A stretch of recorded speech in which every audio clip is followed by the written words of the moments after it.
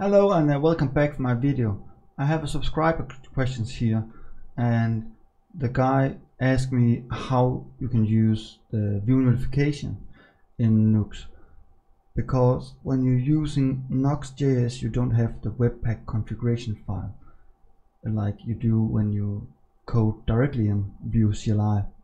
So sometimes it could be a little bit confusing but I will show you in this video how you can do it and how you can work with the Vue uh, notification uh, plugin.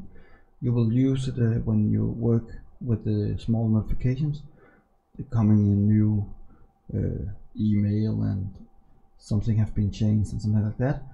That's up to you how you use it, but you can basically use this plugin inside Nuxt.js like in every other plugins in Vue. So I will just uh, quick show what the the Nuxt uh, the Vue notification is. Sorry, you can see it's a very famous plugin. It's having 24,000 downloads a week, and here you get a little bit demo here. So let's going back to the browser where we have the Nuxt.js beginner um, tutorial here. So I will go in for my editor too, and the first I want to do is going to npm save and then sorry npm install save Vue notification. And now install it. I already have it right now but that's how you install it. When you have installed it we need to create a, a plugin file. We have the plugin folder here on the left side. So first going for npm run. And then right click on your plugin folder and create a new JS, uh, the JavaScript file. We will call this for Vue notification.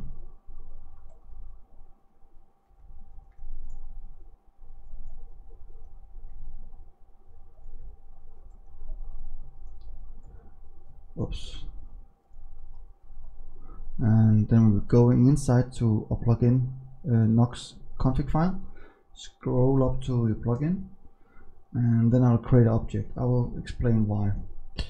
And then build it here plugins and then the Nuxt the JS file.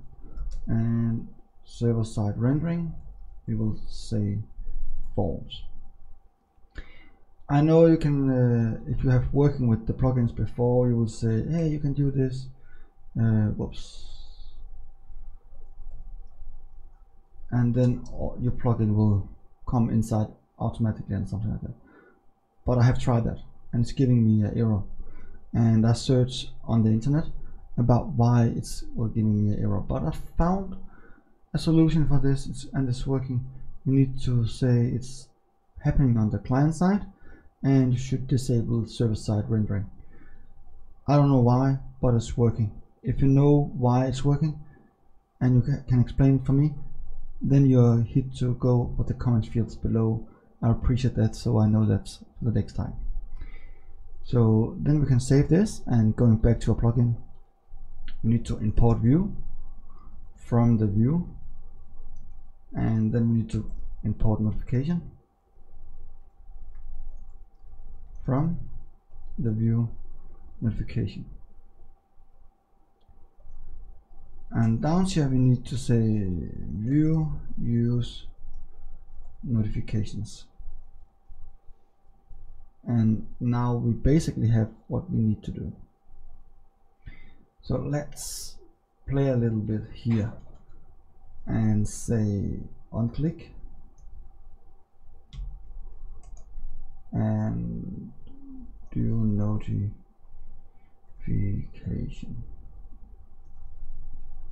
and we don't need this and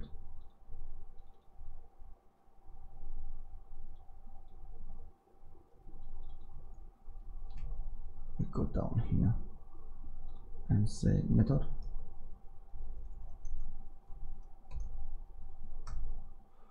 And this one. And then inside here I want to say notify. And I want to set the, the group where I need to place the group inside and should be full. And then I want to the title. Should be hello notify. And the text should be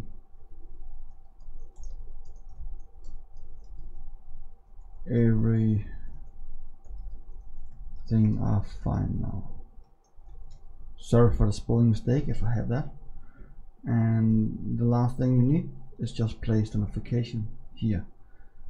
Uh, notifications.